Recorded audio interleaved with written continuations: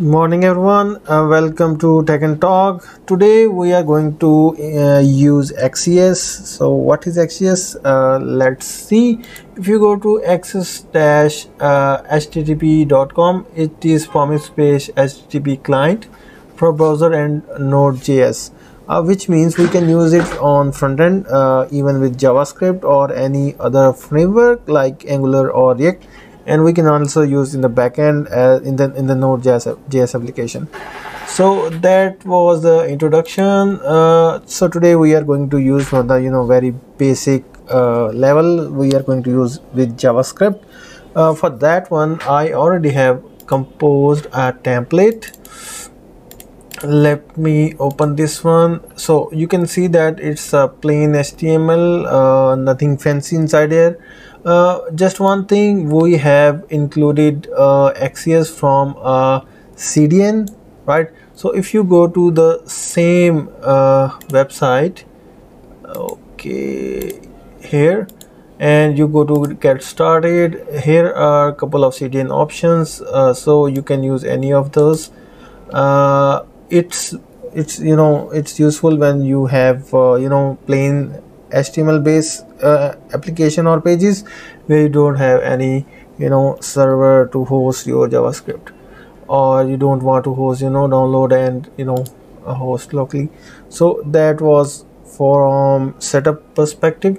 And you can see this is uh, the the page how it looks like. So currently I have integrated this one in the IIS server the same HTML page so as soon as we do any changes in this page can be visible on this uh, UI so let's get back to this uh, view. So uh, now from Axios point of view we need an API so for that one I already have uh, used uh, this you know example or you know mock API uh, where I can get the uh, to do items and I can set the limit as well. So I can when I click on send with this URL I can get five to do items.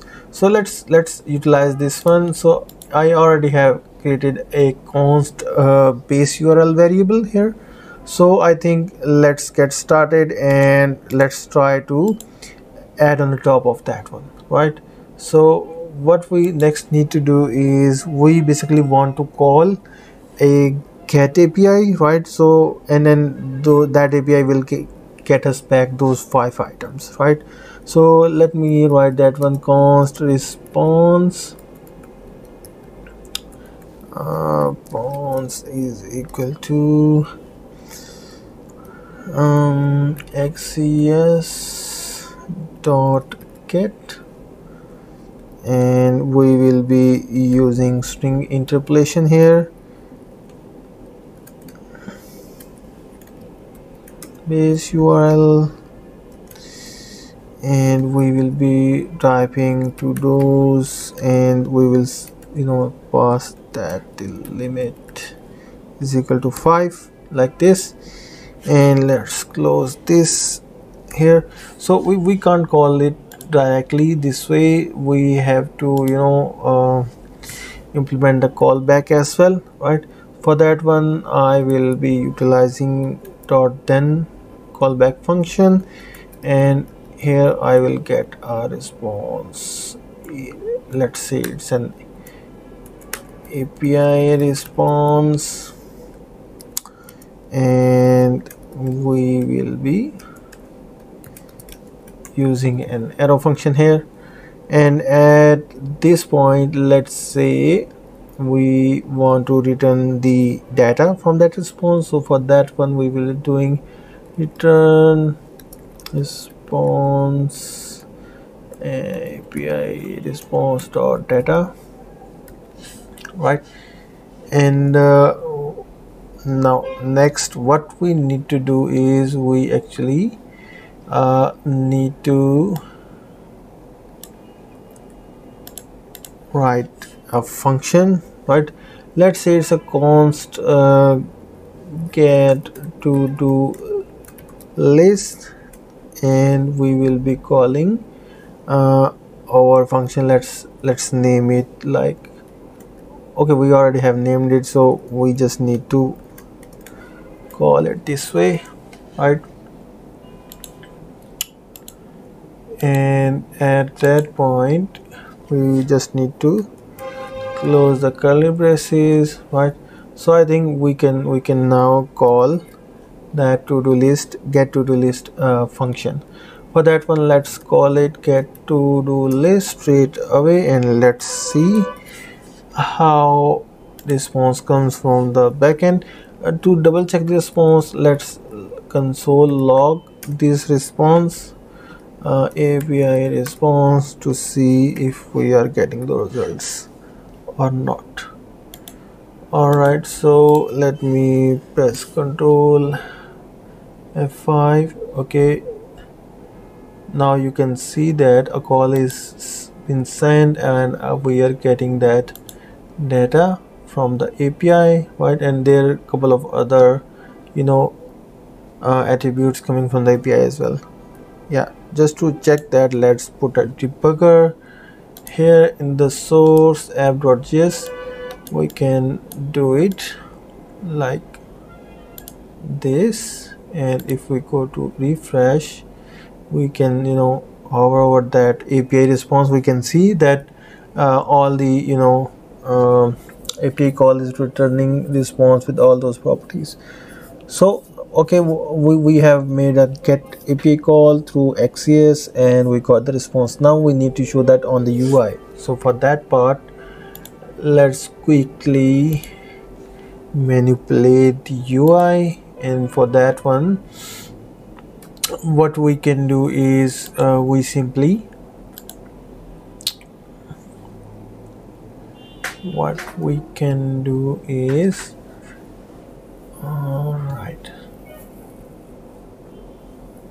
so what we can do is we just we don't need to you know uh, return from here. Let's say we create a variable API response data. Or the best way could be we can simply do this. Const data from API response like this one.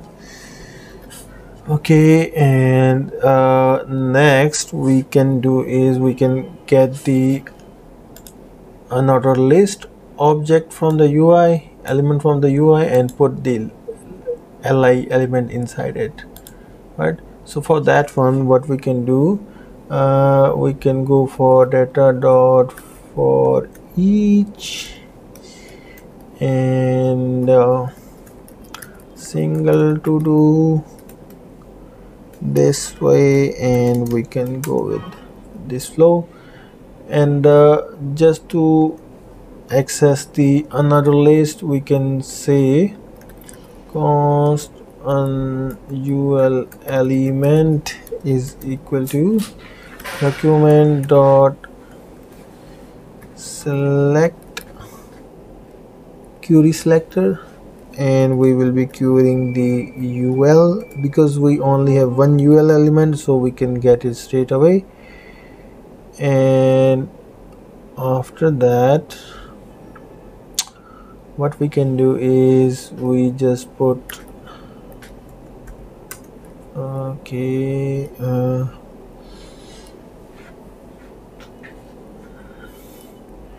cons we need to create a li element. Uh, element is equal to document dot create element and let's name it li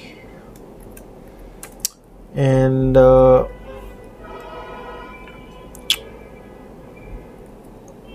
li element dot inner text would be the single to do dot title right?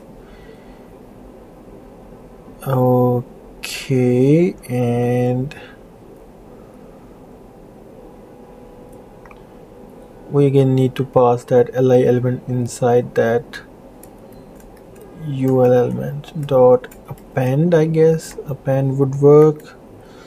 Mm, li element. Right let's see how it works and how it can be displayed on the UI okay we already had debugger so let's debug those lines. So we are getting data. We are getting the ul elements. Okay so now you can see that we have all those um, to do items coming from the API and we can show them on the UI so this is how we can use Axios to get API calls right? To use for the API calls so this is just a simple javascript example just to establish a base. Uh, so plan is we will be covering all the you know other uh, three types of rest api calls which is post put and delete.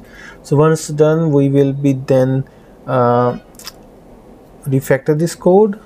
We will be we will be implementing a wrapper Axios wrapper uh, to to you know um, manage your code and use the best practices.